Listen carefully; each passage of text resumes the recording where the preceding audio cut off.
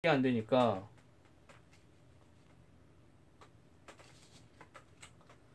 자 그러면 이쪽에 떼서 오우 이거 하마터면 날아갈 뻔했어요.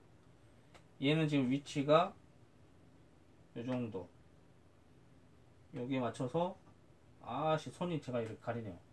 지금 이쪽에 여기 이렇게 얹었거든요. 여기다 하고 이렇게 이제 발라주시면 돼요 한교 쪽을 이렇게 붙여주시고.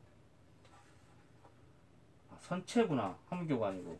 일단 함교는 여기입니다. 이쪽 자리. 아마 요 사이 이 정도 6111 아마 여기에 붙을 거예요. 이게 11번. 그리고 태극마크가 아마 그 옆에 요 자리가 될 겁니다. 태극마크가 큰 건가? 작은 건가? 아 태극마크 아니구나. 부대 부대 마크 부대 마크.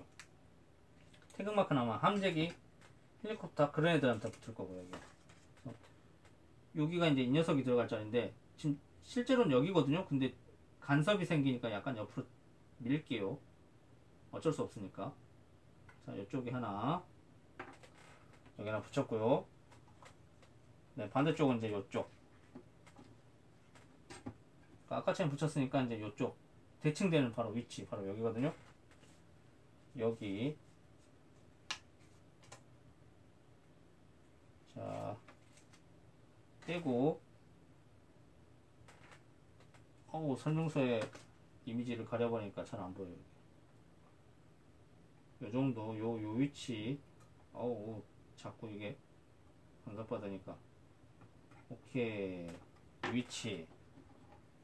그리고 가장 뒤쪽 여기. 여기 이제 독도라고 붙거든요. 독도가 21번 21번 실인데 이제 조심해서 떼가지고. 독도 자 독도 요 자리입니다. 아 이게 잘 안 보이니까 죽겠네. 독도 예 여기.